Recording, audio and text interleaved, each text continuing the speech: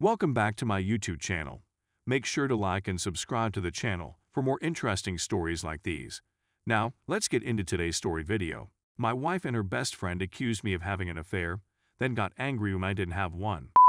My wife, 29 years old, and I, 31 years old, became parents in December of last year. The stressful birth had left my wife with postpartum depression, which she was unable to overcome.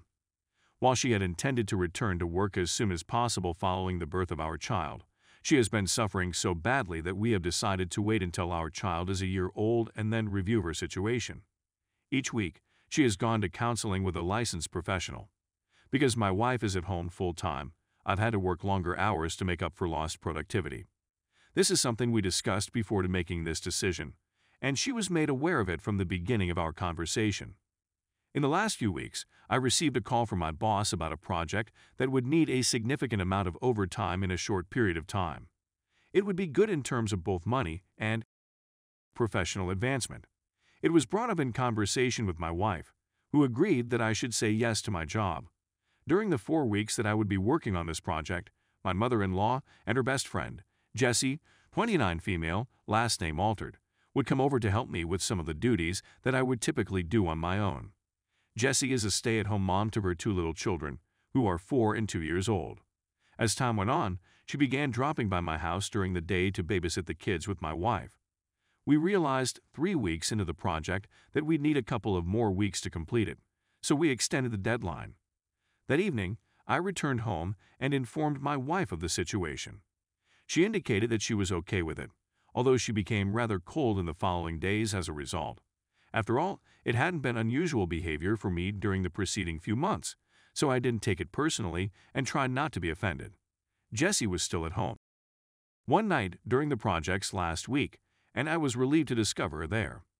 The fact that I didn't give it much consideration was that I just said hello to her and my wife before going to check on our infant. Jessie made a statement that I overheard before I could get into her room. She said something to the effect of, he doesn't even bother to come over to say hello. It's definitely a portent of things to come. I walked over to the other side and questioned as to what it was a sign of. My wife instantly burst into tears, and Jessie started accusing me of having an extramarital relationship.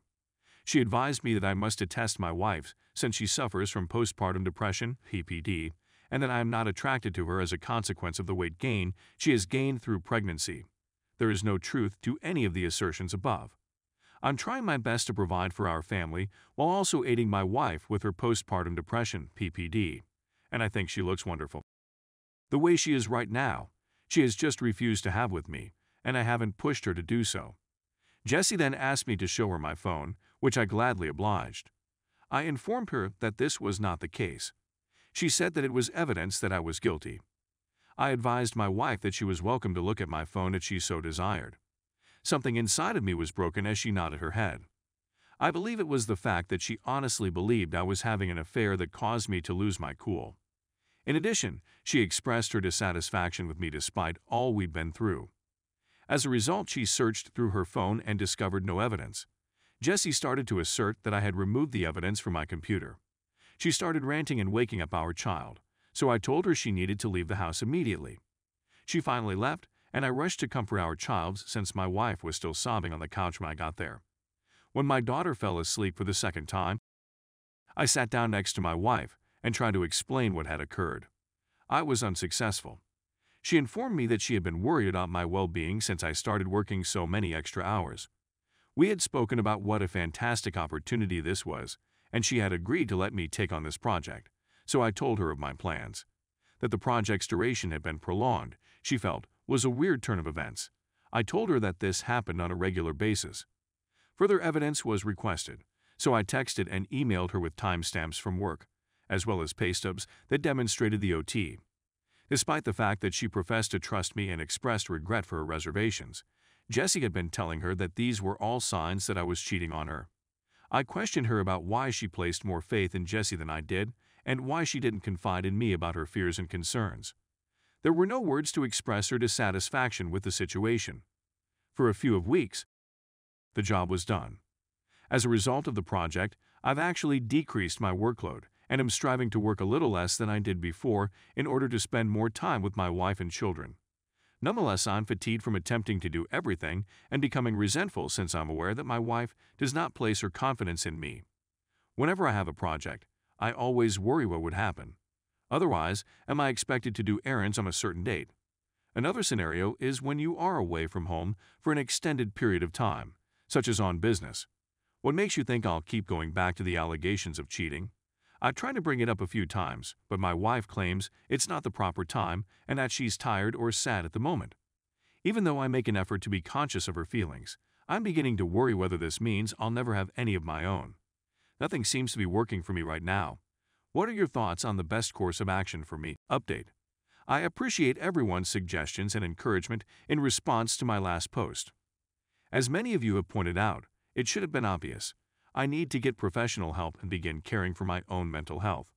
I thank you all for your suggestions. An update has been requested by a small number of people, so I'm sending one, but it's not a very upbeat one.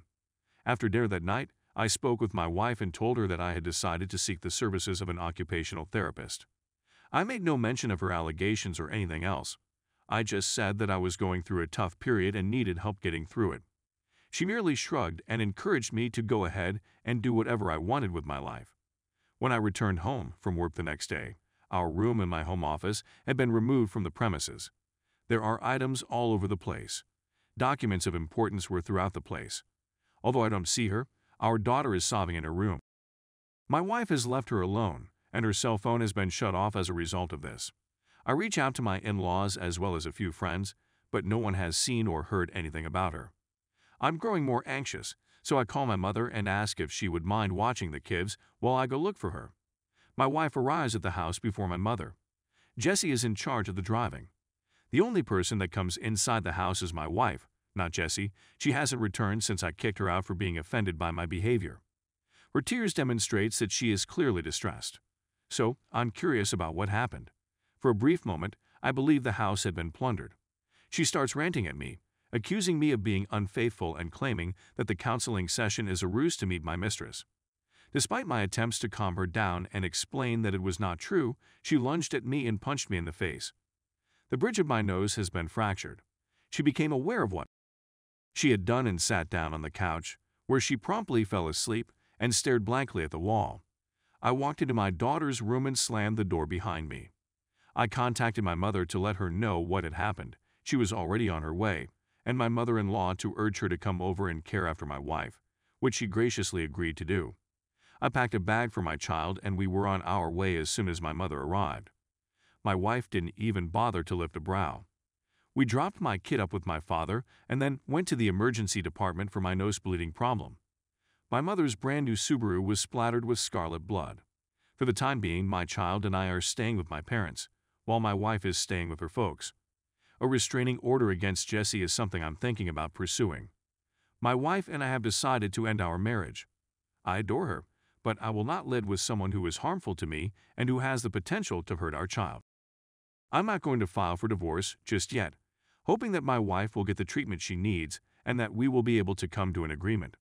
It has been brought to my attention by my in-laws that they are contemplating inpatient treatment at a local hospital.